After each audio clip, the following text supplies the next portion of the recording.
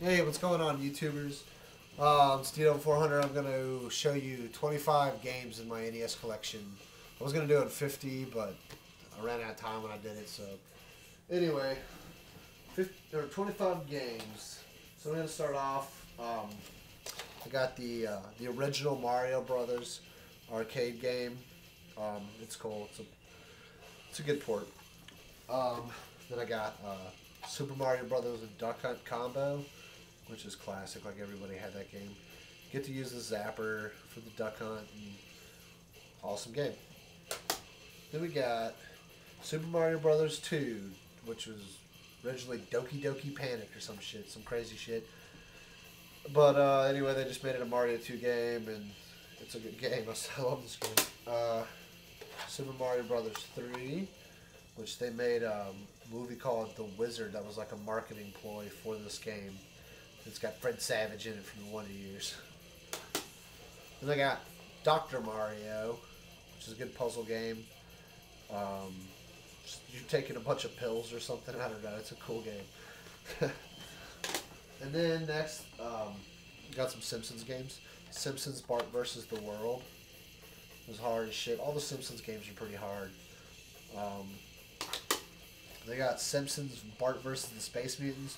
This is one where like first level, go around painting everything that's purple or covering it up, and the second level is like fucking taking hats. It's a crazy plot for a game, but it's it's still cool. I like it. All right, then we got uh, the last Bart one is the Bartman meets Radioactive Man.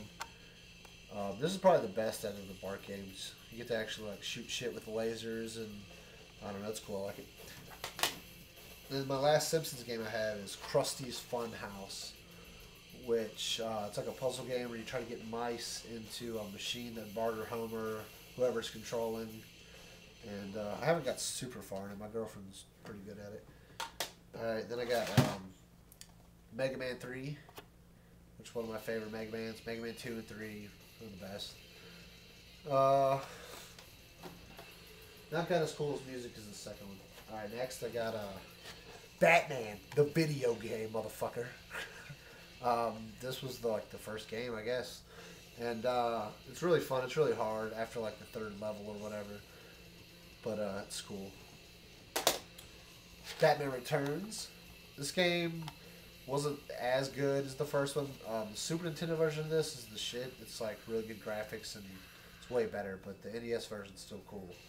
You uh, go up and down and shit. You don't have to just go side to side like a regular side scroller. Then I got Narc, the anti-drug game. That was used to be an arcade game.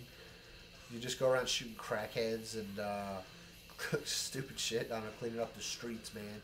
You pick up cocaine bags and money and you can arrest people. Then they made a remake where you can like take acid and all kinds of shit for Xbox. Then I got Gradius, which is like uh, the best, one of my favorite, well, I think the best, the uh, best shooter, like airplane shooter. Um, then they made a third one for the Super that's really good. And then of course Legend of Zelda, badass game. Then I got um, Teenage Mutant Ninja Turtles, the first one. Yeah, they all got fucking red masks for some reason. They're all Raphael's. It's a good game. It's really hard though.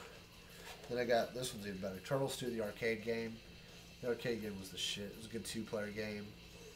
Um, yeah. Turtles 3, the Manhattan Project. Is pretty much like the second one. It's just different levels, different bosses and shit. I like this game a lot, though. It's bad. Uh, we got the Uncanny X-Men. This game's not so cool. it's it's X Men, but it's hard and it's I don't know. It's not that cool. But uh, gotta love the X Men. So there's another NES game called Wolverine I want to get. Uh, Bill and Ted's Excellent Adventure. Yeah, dude. Uh, this game's kind of crazy. You have to go through time and shit in your uh, phone booth, and I don't know. It's cool though. I just haven't got too far in it. Check that game out. Alright, then I got fucking Metroid. I got the cool cover one, not the shitty one. I got Monster Party. Whoa! This game's cool. I like it. It's got crazy dialogue. Um, it's got a weird story. It's just a bunch of monsters. You go and fight like all these bosses, get keys or something. I like this game. It's got a cool Halloween feel to it. Then I got uh, Gunsmoke, which is like one of my favorite NES games. Go around shooting Indians and shit, cool bosses, get machine guns, uh, shotguns, magnums, a horse. Know, it's pretty sweet. Then we got Friday the Thirteenth. Fucking Jason. Jason purple in this game. It's hilarious.